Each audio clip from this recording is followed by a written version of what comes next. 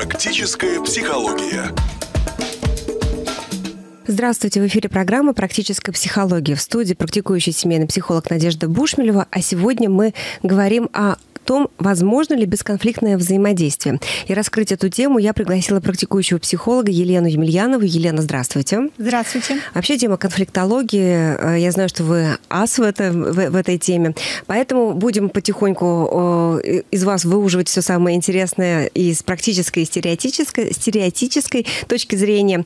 Так вот, что же такое конфликт? И вообще э, тема конфликтогенности да, общества, э, семьи, да, э, взаимоотношений, это же сейчас очень актуально, потому что даже вот совсем недавно да, у нас вроде бы такое мероприятие, как чемпионат там, по футболу, да, чемпионат мира.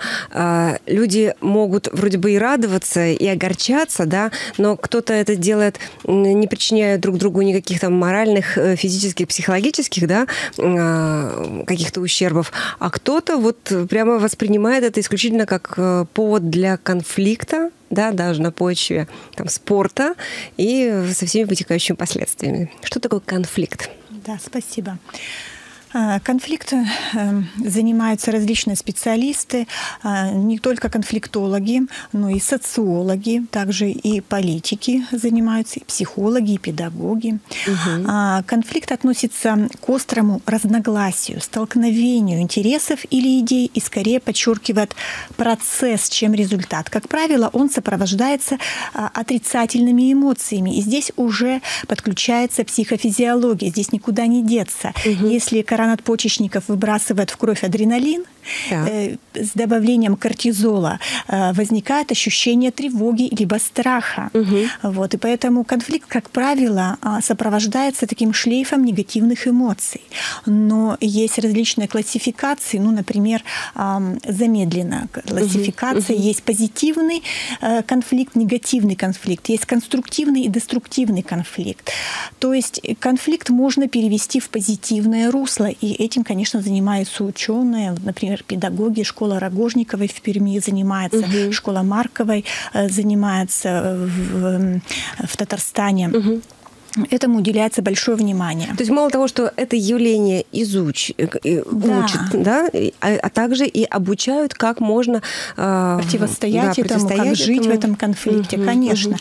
Но основная наша задача сегодня не рассказать э, нашим э, слушателям, как э, проживать этот конфликт, угу. как его трансформировать или перерабатывать. Об этом мы уже с вами говорили, да, это в предыдущей бес... программе. Да, ага. Это бесконечная тема, поэтому, может быть, мы сегодня поговорим о бесконфликтном конфликтном взаимодействии, угу. возможно ли оно? Да, возможно ли оно? Да, ведь э, как мы замечаем, что у нас э, у каждого встречаются споры, Угу. Но спор не является конфликтом. Угу. Спор это всего лишь словесные какие-то состязания, целью которых является убеждение другого там человека, вашего оппонента в своей правоте, а, в причиной, например, которого могут являться различные противоречия мнений э, или каких-то разных точек зрения. Вот в каком платье мне сегодня, например, идти в гости? Вот угу. я хочу сегодня красное платье одеть, а, например, супругу а... может не нравиться угу. ваше может красное говорить, нет, платье. давайте синее, потому что да. мне больше да. оно нравится. И вот здесь мы можем с вами просто поспорить, да, и каждый, э, и каждый останется при своем мнении, но вы оденете то платье, которое посчитаете нужным, потому что вы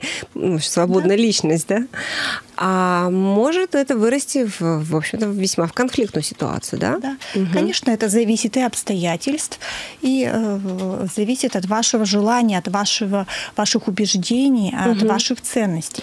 Поэтому... Скажите, э, зависит ли, например, э, если я в детстве видела, как мама с папой, там, например, да, выясняют отношения, как они, например, отстаивают свою точку зрения, там, как они спорят, да, или же когда я уже видела, что все, это уже действительно реальный конфликт, который мог затянуться там на месяца, да, то я беру э, подобный сценарий и проигрываю его уже во взрослой жизни, да? Да, вы точно сказали, что это сценарий угу. или модель поведения. Угу. Да, в какое-то время она может сработать. Угу.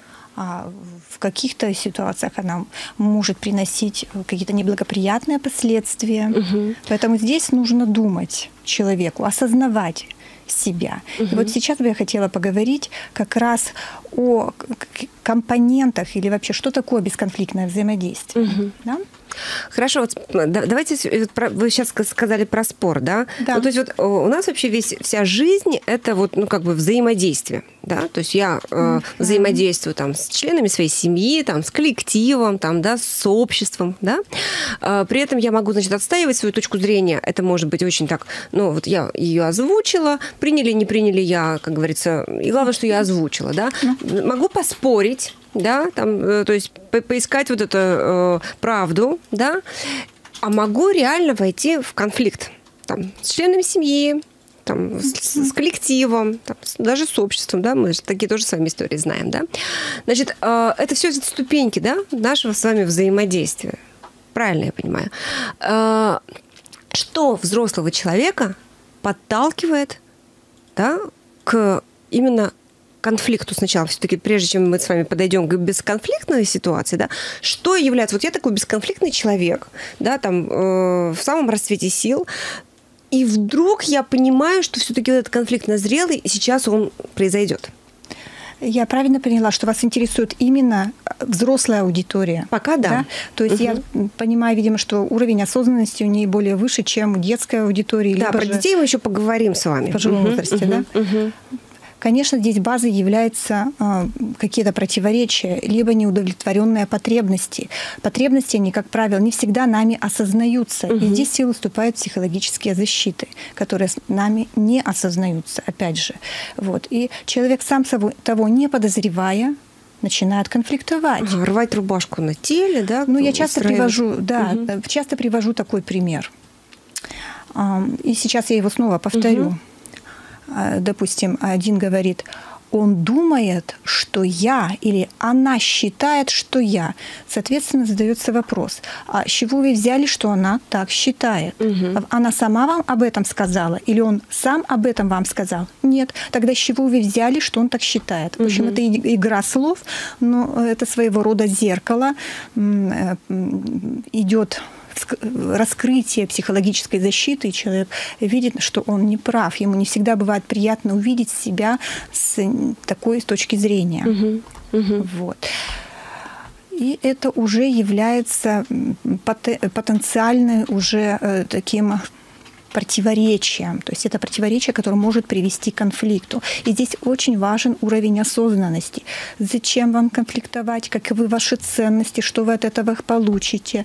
Но ну, дело в том, что не все люди могут справиться а, со своими эмоциями. Не все знают, что они хотят. Угу. И это зачастую мешает и в бизнесе, мешает и в продвижении по карьерной лестнице, и в воспитании детей, и в общении с пожилыми родственниками. Угу. Вот. Хорошо. Итак, э, значит, процесс общения, да, он может быть таким, знаете, мирным, да? Mm-hmm. То есть, да, я вот, например, там, да, сегодня вам сказала, что вот я бы хотела там, а, там то-то, то-то, то-то, да, вы говорите, а зачем тебе все это там, mm-hmm. да? Я спрашиваю, там, Лена, а вообще это же моя жизнь, да? Почему вы там мне, ну, там, например, навязываете какую-то свою точку зрения, еще что-то, да? И вот здесь тоже ведь почва, в принципе, для конфликта. Но вы мне говорите, стоп, мы с тобой взрослые люди, мы с тобой, да, осознанные люди, да, и мы с тобой можем общаться бесконфликтно. Как можно взаимодействовать, как можно избегать вот этих острых углов, что для этого необходимо. Мы сейчас, опять-таки, пока говорим только как на уровень взрослых людей. Угу. Угу. Конечно, в первую очередь важно установить социальный контакт э, и развить его. Давайте я немножечко так э, сожму свой ответ, угу. а затем его разверну. Да, хорошо, хорошо. Итак, что же такое бесконфликтное взаимодействие? Это установление и развитие социальных контактов, то есть между субъектами взаимодействия угу. на основе общепринятых норм поведения. То есть, если принято здороваться, там, да, я здороваюсь, я уже никому не даю повода для того, чтобы кто-то сказал, Ха, а она-то, посмотри, сейчас что делает. Каждый раз приходит и меня игнорирует, не здоровается со мной, да? Угу. Требовательности к себе, внимательного и сопереживающего восприятия партнера, ответственного и уважительного отношения к взаимной репутации – анализа сложившейся ситуации и усвоения полученного опыта в контексте возрастных особенностей и субординации. Угу. Вот какое сложное определение. Определение очень сложное. сложное. Давайте все-таки разберемся. Давайте. Да? Что ж, да, из чего вообще так сложно жить вообще угу. в жире, да? Угу. Социальные контакты, установление социальных контактов. Возникнет вопрос, а что, если я поздоровался, что я не установил контакт, или что, если я общаюсь, я что, не устанавливаю контакт? Угу. Самое главное здесь парадокс в том, что вы можете говорить например, своему подопечному, подчиненному, либо э, начальнику. Вас могут не слышать. Угу. Вы-то в контакте с ним, вы-то общаетесь, а вас не слышат. Угу. А почему? А он в своих мыслях, угу. у него какие-то вопросы. Угу. Вот обращали внимание, да? да? Вы обращали внимание, когда приходите в магазин, и вот усталый продавец встает, и такое впечатление, что ну, он совершенно вас не рад видеть. Угу. Вот вы пришли сюда, а вы не, его не трогаете, вы никого не трогаете, вы просто зашли посмотреть на какую-то продукцию. Угу. Затем вам говорят, вам что-нибудь подсказать, угу. то есть сразу же обращение к вашей интеллектуальной сфере, угу, да, угу. то есть вы такой не, спос... не самостоятельный, не можете выбрать себе ничего, угу, угу. или еще такое, такая реплика. Если хотите, вы можете померить. Да? Угу. То есть сразу же у покупателя э, снижается желание что-то угу, приобретать, угу. потому что э, ну, зачем указывать? Да, да, зачем да. указывать? Угу. И так знаю, что могу померить. Угу. Так все видно. Угу. Вот. Поэтому здесь вопрос установлении социального контакта. В чем же он еще заключается? То есть он э, предполагает несколько стадий. То есть это предварительный сбор информации. Если вы проводите переговоры, узнайте максимально все о том оппоненте, с кем вы будете общаться, что он любит, как он одевается, как общается, куда вы пойдете.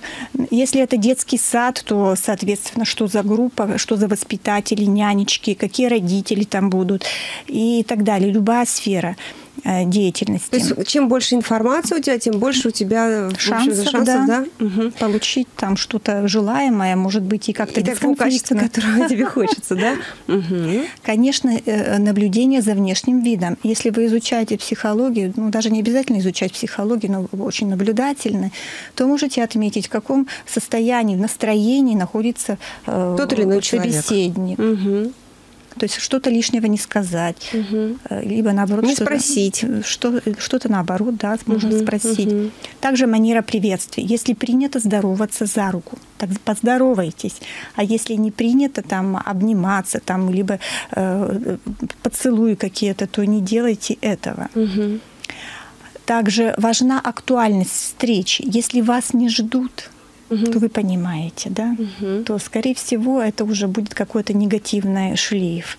Дальше осознанность происходящего. То есть все время надо находиться в осознанной позиции в диалоге. О чем вы говорите, о чем вас спрашивают. Особенно это интересно менеджеры делают. Угу. Пришел в магазин человек, и вдруг он набрал товара, который вот, ну, ему не надо. Ну как угу. хорошо с ним пообщался менеджер. Угу. Да? То есть он угу. использует вот это знание психологии, вот эти тонкие моменты, угу. где что сказать.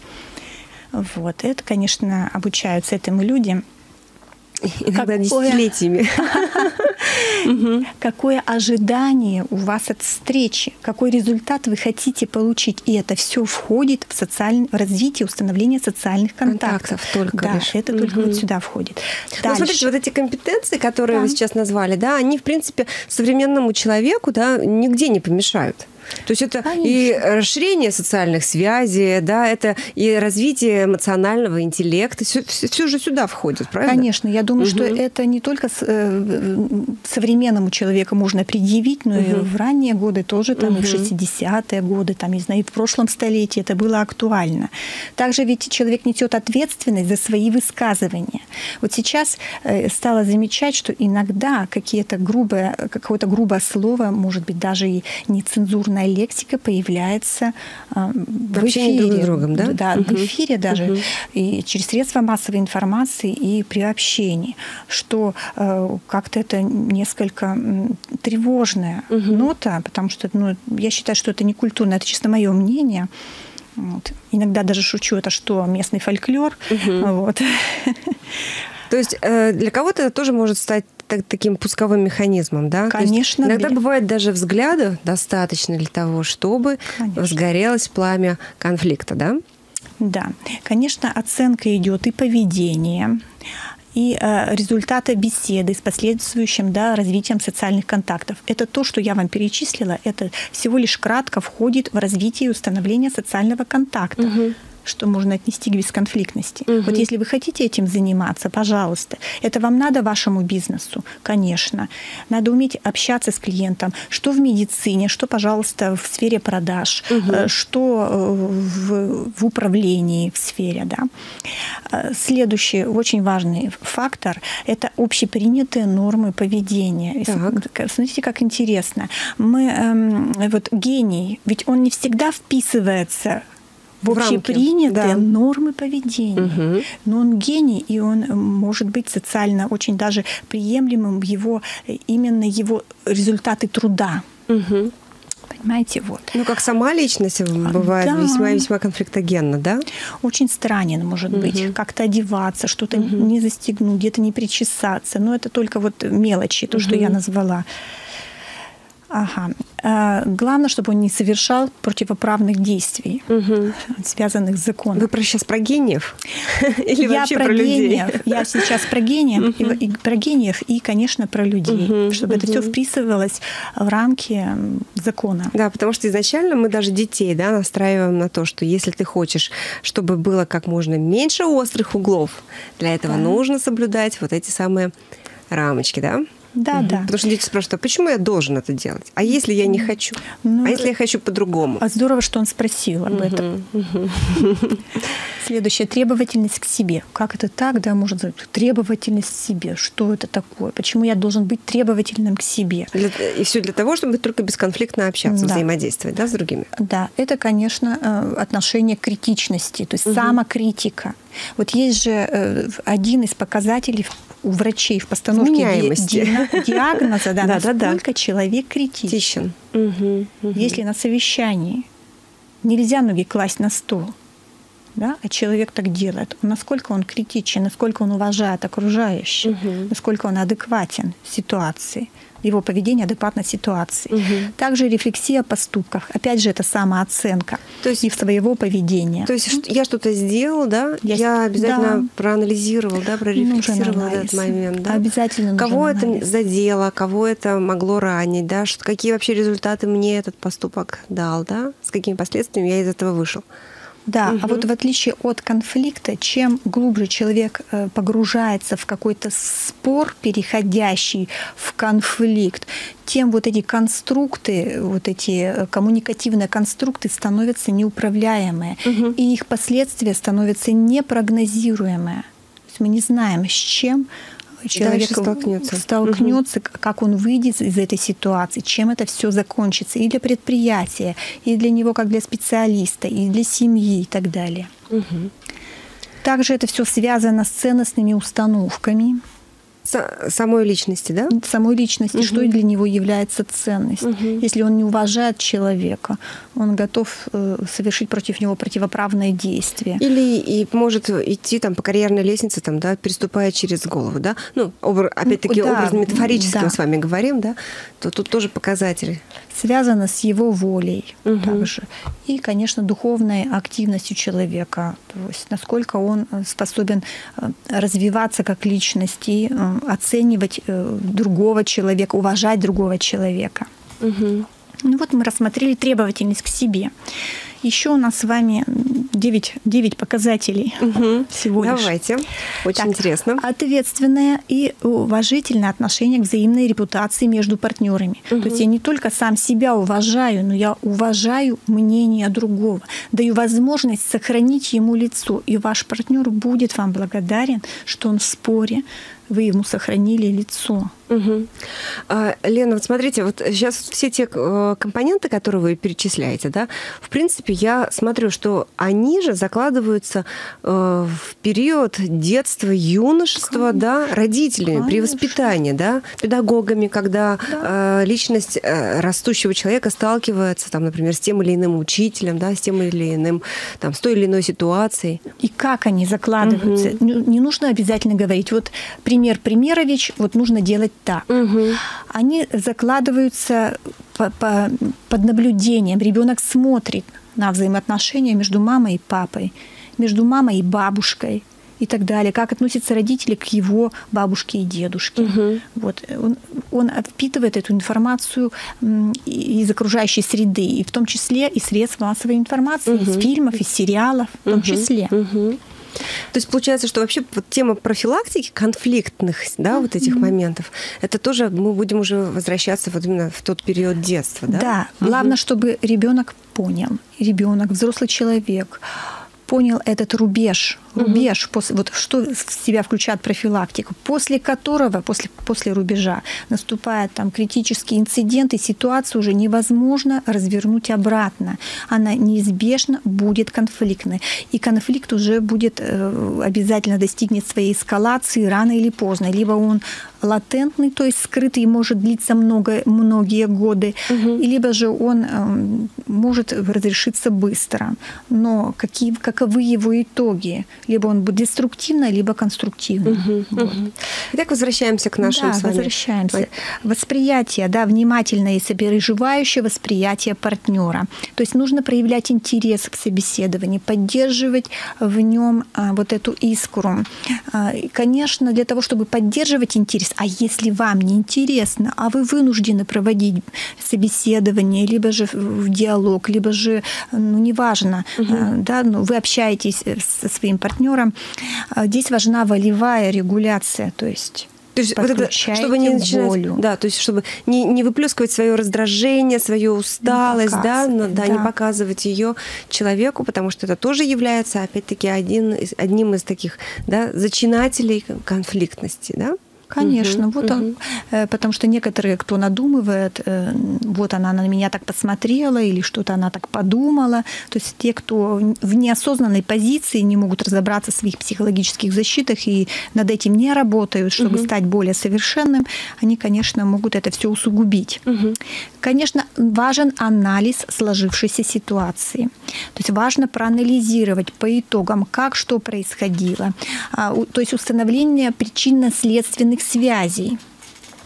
То есть, конечно, это достигается за счет развитого интеллекта. Если человек ну, не хочет развивать свой интеллект, откуда он возьмется, откуда возьмутся способности, если они не развиваются? Ну вот смотрите, а, это мы сейчас опять-таки говорим про взрослые такие, да, осознанные, да, мы про взрослые да, говорим. взаимоотношения. Потому что, например, а, ребенок, чтобы он бесконфликтно взаимодействовал, да, с себе подобным, да, то ему, наверное, анализ этот нужно будет помочь провести, там, почему эта ситуация развернулась таким или иным образом, это уже, наверное, мама, там, например, или папа, да? Да, Потому что сам да. явно это не будет делать. И здесь, наверное, уместно вот что сказать, что если ранее, в ранние годы, там, в советское время, э, в 80-е, там, можно было критично относиться угу. с такой критикой публичной. Ах, ты бессовестный, да как тебе не стыдно? Угу. Сейчас тебя партсобрание пропесочит и тебе объяснит, как надо жить дальше. Мы сейчас тебе угу. покажем. Угу. Сейчас это не рекомендуется делать, угу. потому что чем жестче будет подход, тем ребенок э, не будет сильнее сопротивляться, угу. современный ребенок. Поэтому важно выводить его на вопросы. У тебя проблемы? Угу. А, ты, нет. нет проблем. А как угу. так получается, что вот э, задаю тебе задание, у тебя не получается угу. ничего сделать? Как так выходит? Вот а что так? А, ты в компьютерную игру играл? Ну что ж, ну можно и в компьютерную игру поиграть. Uh-huh. А что так долго? Ты не мог uh-huh. остановиться там, да? То есть uh-huh. вот это вот все спрашивает, э, спрашивать ребенка, общаться с ним. Как правило, это выясняется, что родители не находят времени uh-huh. для своего чада, и он спасается в такой, что няне угу. в няне информационной. Это компьютерная игра, либо телевидение, угу. либо какие-то еще другие. То, то, что занимает меня, мой ум, мой мир, да, в данный момент, да, да, не отпускает. И он туда втягивается и не может остановиться самостоятельно, потому что волевая регуляция, вот эти внутренние рычаги, угу. они у него не сформированы. Угу, угу. Ну и вот, пожалуйста, трудно вам ему делать. конфликтная ситуация. Конечно, да? анализ сложившейся ситуации делать трудно. Угу. Также Но важно... тем не менее делаем, да, мы обязательно делаем. и учим этому детей и подростков. Да? Детей, да. Угу. Ребенок еще отличается тем от подростка, что он не может выразить то, что его беспокоит. Угу. Поэтому здесь нужно э, наблюдать за его поведением, за его действиями и словами, что он говорит. Потому угу. что где-то он э, может подменять понятия, потому что он их сути еще не, не понимает, не разбирается угу. в этом. Угу.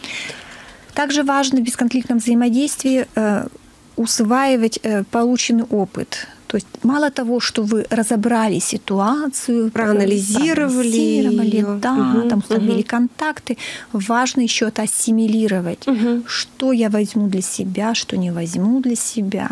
Что я буду использовать в дальнейшем, да, если подобная да. ситуация будет складываться, да? Для угу. изменения своего поведения. Угу, угу. А не меняю другого человека. человека. Да, угу. и обучение новым способам, опять же, реагирования на происходящее.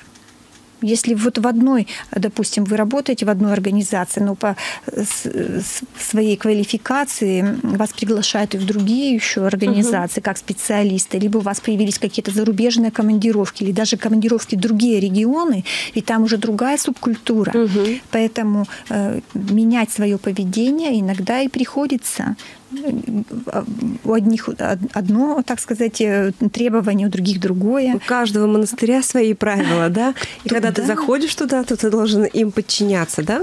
При всем при ну. этом, э, конечно же, мы все равно как единица личностная, да, вносим какие-то свои э, коррективы обязательно. Да, коррективы обязательно, да? Хорошо. Вот смотрите, вроде бы так все ясно, просто оказывается, в наш современный сумасшедший мир можно даже нужно умудряться да, а, жить бесконфликтно, общаться, взаимодействовать. Все, что от тебя требуется, это вот прямо там один, два, три, четыре, пять пунктов, которые ты, в принципе, нарабатываешь в течение всей жизни. Ведь ты не рождаешься уже со всеми этими волевыми качествами, со всеми этими э, там, социальными связями, с культурными пониманиями, с моментами анализа.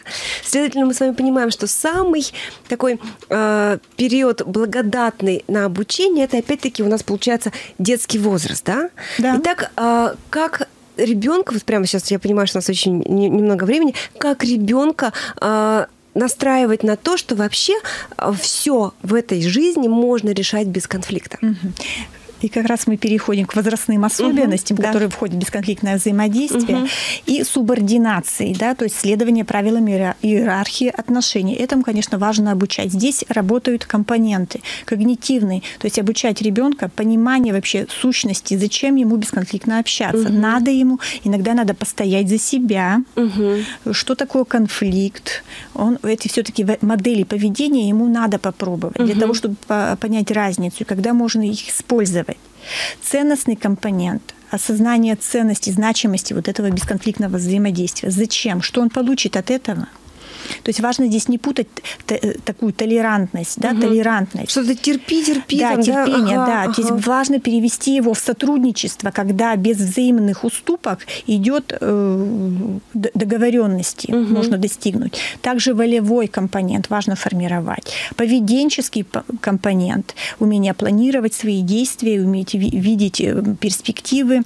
И э, также умение организовать бесконфликтное пространство. Угу. Вот, бесконфликтное тоже немаловажно, да? Да, угу. это занимается, конечно, практическая психология. Сейчас нам, мы угу. не можем уделить этому угу. времени. Угу. Рефлексивный компонент, опять же, осознание бесконфликтного взаимодействия, угу. расширяющего возможности предвидения, да, так и так далее. В общем, можно об этом много говорить.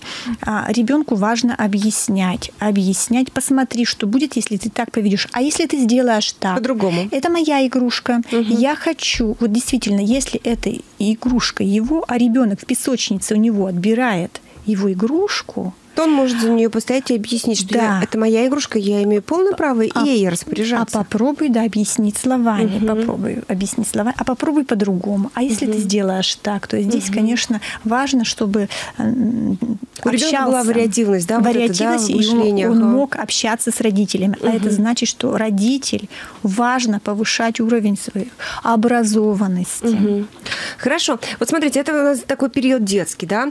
А если у нас с вами э, моменты, э, например, пожилые люди, да, то есть когда у нас есть с вами там пожилые родители, и мы понимаем, что нам тоже вот нет нет да вот возникают какие-то конфликтные ситуации, то тут нужно что уч- учесть? Здесь важно учитывать их потребности, то есть мы рассматриваем, можно рассмотреть пирамиду Маслоу, угу. то, что в основном у них витальные потребности, также а, в безопасности, в э, любви, которая, и знаете, у них преимущественно аффилативная потребность, которая никогда не будет насыщаема, угу. насыщена угу. никогда. Этому надо быть готовой. И то есть даже понимая это, да, ты уже понимаешь, что вот конфликтовать с родителями, которые там, да, уже совсем другое поколение, да, просто ни к чему, да, тут надо уже просто принимать, помогать, угу. ну и сопровождать их, да, э, в такой сложный период, как... То есть э, зачем нам нужно бесконфликтное взаимодействие? Зачем? Угу. Для продвижения по карьере, угу. по карьерной лестнице, для бизнеса, для установления позитивных контактов, для общения со своими пожилыми родственниками, для общения с детьми. И вообще для состояния ощущения, что э, жизнь возможна без конфликта, что жизнь может быть наполненной, радостной, приятной, да, а не э, быть все время как, как на вулкане, правильно? Ну да, не хочется, конечно, в иллюзии в какие-то, да, вдаваться.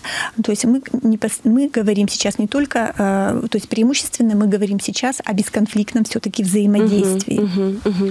Спасибо большое. Ну что, друзья, это была программа «Практическая психология». Сегодня у нас в гостях была практикующий психолог Елена Емельянова, и мы говорили о том, возможно ли бесконфликтное взаимодействие. Всего доброго, всем любви, счастья и бесконфликтной жизни. Спасибо. Практическая психология.